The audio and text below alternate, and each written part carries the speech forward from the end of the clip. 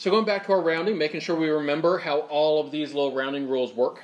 So for number one, uh, we're rounding to the fourth decimal, which if you take a look at our original problem, the fourth decimal is where the three is.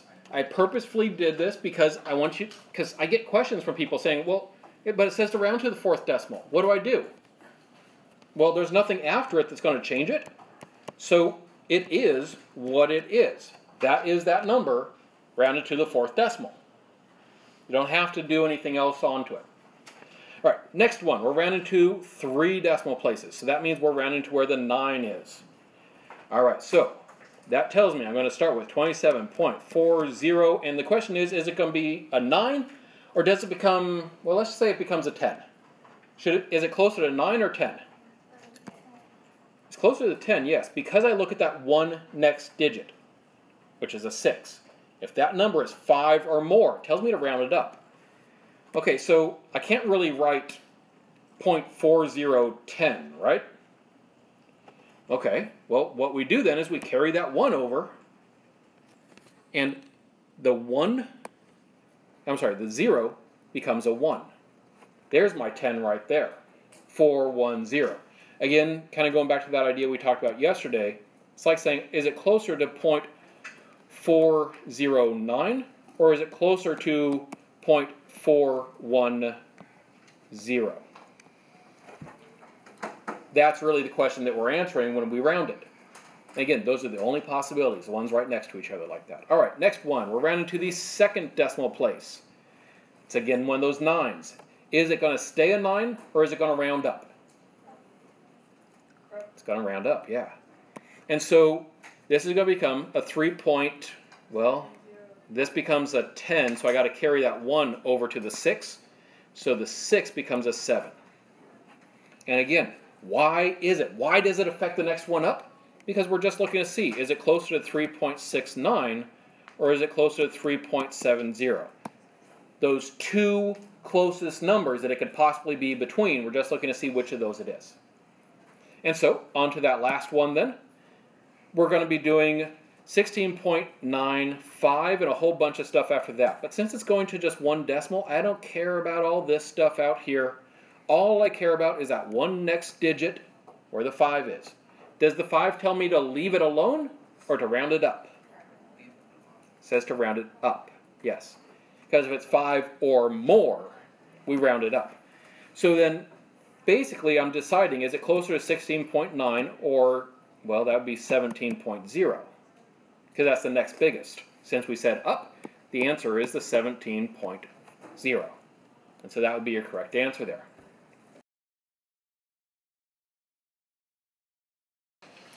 All right, so if we are going back into graphing today then, we got to deal with the other two equation types. This is the first of those, and this is about as simple of an equation as you can have. Notice one difference between this and what we saw the other day. The other day we graphed absolute value, so it had those bars around it. And we graphed x squared, so it had an exponent in it. This one has nothing in it. It is the absence of any of those other things that's going to end up telling us what the shape is. Now, to sketch this graph, it's actually pretty easy to kind of plot points because whatever x is, y is going to be the same thing. So like if x is 1, y is 1. Or if x is 2, y is 2. Or if x is, let's go all the way out. If x is 10, y is 10, right? Uh, what if x is negative 10? y is negative 10 x and y are always the same thing. And so, because of that, we can see that we end up with a graph here that's a line. Now, since it's a line, try to use a straight edge to draw it on. This simple equation here with nothing else in it, it gave us a line, right? Hence why these types of equations and these types of graphs are called linear. Because notice, linear starts with the word line. And so this is our parent function. This is the parent function for all of the linears. And then it's just a matter of playing with it and modifying it for the next few problems. All right, so in this case, we got y equals x plus 3. Now, it might be a little bit hard to tell which way that's moving it. because is it with the x or not? Well, if we were like putting in parentheses, or if I was going to make this look like an absolute value type equation or something like that, I would be putting those absolute value bars like that. It's going to behave the same way as what we had there. Except because this is not absolute value, it's more like parentheses there, but that looks weird, right? But that's the way it's working. That plus 3, it's not being forced in with x, therefore it is hanging on the end. And if the plus 3 is hanging on the end, which way does it move it? It's up and down. Which way does plus go? Is that up or is it down? It is up. And so, in order to graph this then, I'm going to make the exact same graph that I just made on the last problem, except that the whole thing is moved up 3. So I'm going to put my first point up 3.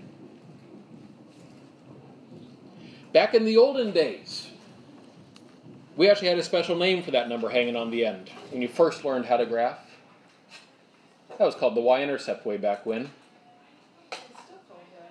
And in this case, it is just the y-intercept, although we're going to add a little bit of complexity to these here in a minute, where we're going to see that if we do some other stuff, it isn't always. But when we write in this format, yeah, that vertical shift like this is the exact same thing as the y-intercept was. Just now you're learning that it can be applied to more than just lines. All right, so I do make the exact same graph that I made before, You'll notice in that last one, we went over one, up one on the right side, and we went down one, left one on the other side. And then once you plotted each of those points, you use your straight edge to go ahead and draw in your line through those points. Now for this one. This graph looks very similar to the last one, but it's not quite the same, right? That equation, we got the parentheses in there. Well, in this case, the 3 is in the parentheses with the x. And so that tells us that it's telling us to move in the left-right direction. Would a plus 3 move it left or move it right? It would move it left, absolutely. And so, again, it's like we're taking our parent function, the exact same graph, except we're moving it left 3. So I put my first point left 3. And so I go left 3, and then I start making my graph. So I still go over 1, up 1. And I keep going over one, up one, all the way along. And then once you plotted all the points, go ahead and break out your straight edge, draw the line that goes through those points. And when you do that, you probably are noticing something. Look at this graph compared to the graph we just made. They're the same, right? This one and the last one are the same. What that should make sense because what are the parentheses actually doing to this equation? Uh, well, they can kind of shift our perspective in terms of vertical versus horizontal shift. But mathematically, these parentheses, because there's nothing written out front here, are doing nothing. This equals the same thing as just y equals x plus 3. So yes, they do give us the same graph. So why did I bother? Because I wanted to show you what happens and how we could move it side to side and not just up and down, but that they do, in fact, give us the same thing and be able to prove that. So we did the parts where we shifted it up and down, then a separate one where we shifted it over. But now I put them together, and all of a sudden it makes it seem a lot harder. So let's go ahead and start seeing how we'd handle it. The number that's inside with x here affects it in the x direction. Minus 4 will move it which way, left or right? It'll move it right, yes. Because minus always goes right. Now the minus 2, it's hanging on the end. It's outside of the parentheses. That means it must be going up and down. Which way does minus 2 go? It goes down. And so I'm going to put my first point right 4 and down 2. Notice this works exactly the same way as it did when we were graphing absolute value. It works the same way as when we graphed a quadratic. All of these rules that we are seeing in terms of how it moves and all that, they work for every single function type. Every one you've seen and everyone you haven't seen. They all work the same way, which is what I love about it. All right, so once I have that first point, that's my starting point, and otherwise I make the exact same graph as the parent function from here. Remember the parent function, it goes up 1 over 1 on both sides. So I'm just putting in those points, going up one over one or down one left one, to get all those points in, and then go ahead and draw the line that goes through. Now, as a side note, in this particular case, we could have done it ever so slightly differently. I think there were a couple of you that actually made it into just y equals x minus 4 minus 2 because those parentheses weren't doing anything, and then combined the 4 and the 2. And notice if we do that, that gives us y equals x minus 6, which means it starts down 6. Yes, in fact, it does give us the exact same thing. But because it follows the same pattern as all the other ones, we don't really need to do all that because we should know what the pattern is. All right, now for this one, we're going to be graphing y equals the square root of x. Now remember, square root means what number times itself equals this.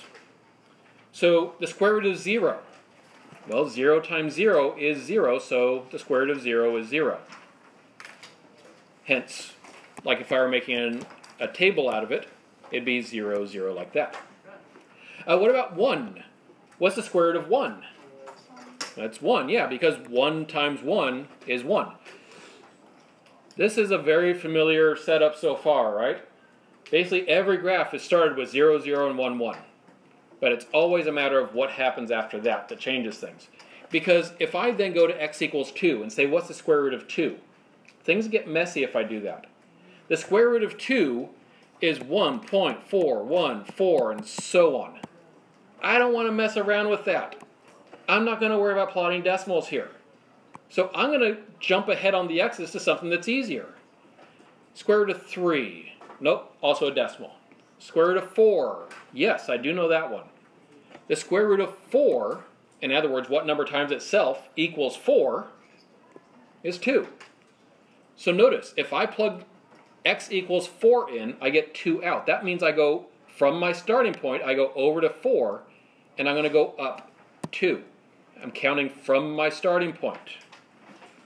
So go over 4 up 2. And then I want to look for the next number that I can actually take the square root of. So square root of 5, decimal. Square root of 6, decimal. Square root of 7, decimal. Square root of 8, decimal. Square root of 9, 3. Okay. So then my next one I'm going to go to is 9, 3. The square root of 9 is 3, so then I plot the point over 9 up 3 from the starting point. And so then that tells me I have a graph that's looking like this. Now, what about over in the negatives? What's the square root of negative 1? Well, that would actually be a bit of a problem. If you punched uh, into your calculator square root of negative 1, it would throw a little fit.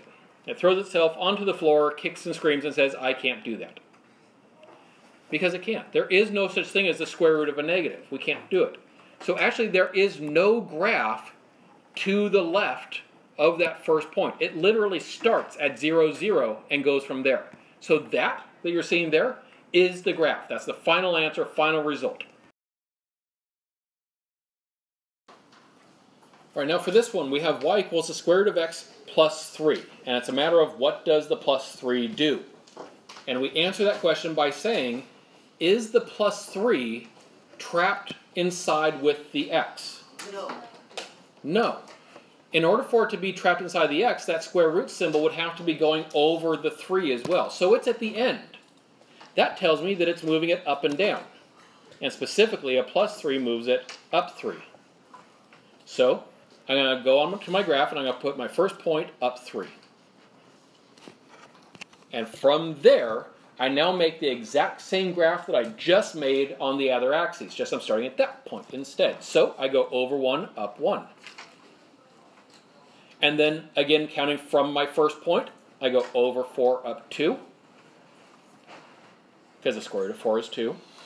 And then from my starting point, I go over 9, up 3, because the square root of 9 is 3. And that's all of them I can fit on my grid. So draw the curve that goes through it. And you're done. That's square root graph. All right, for this one, we got to start by saying what does the plus 2 do? Well, the plus 2, is it inside with the x? Yes, it is, because it is under that line. And so, that means it moves it in the x direction. Specifically, which way does plus 2 move it, left or right? Left. Left. And so then I'm going to put my first point left 2, which for some of us might start bending our brains a little bit, because you might be thinking, wait, that makes it negative. Well, it's only because of the shift. I'm still going to make my graph the same way, over 1 up 1, over 4 up 2, over 9 up 3, counting from that first point. I'm always counting from that first point that I plotted.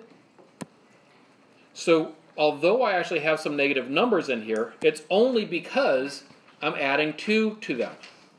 So for instance, negative 1, I used to plug it in and that would give me a negative number, but now notice if I plug negative 1 into this, negative 1 plus 2 actually gives me a positive 1. So I'm actually taking the square root of a positive number. Which, if you want to dwell on that in your own mind a little bit, can also tell you why plus goes left and minus goes right. All right, so this last one, in order to make this graph, again, we decide what everything does. The minus 1, it is inside with x, therefore it moves left and right. Specifically, minus 1 goes to the right. Minus 3, it is not inside with x, it's outside the square root. And so that tells me it goes up and down. Minus goes down. All right, so knowing that, I know where to put my first point. I go right 1, I go down 3, and I plot my first point there. And once I've done that, I know the entire graph because the entire graph follows the exact same pattern just now from that point. So I go over 1 up 1, over 4 up 2, and whenever I say over 4 up 2, remember I'm counting from the starting point. Not from the last point, from the starting point. And the same thing with the over 9 up 3, I'm counting that from the starting point. And so then plot the points, and yes, the points have to be right on here, and then draw the curve that goes through it.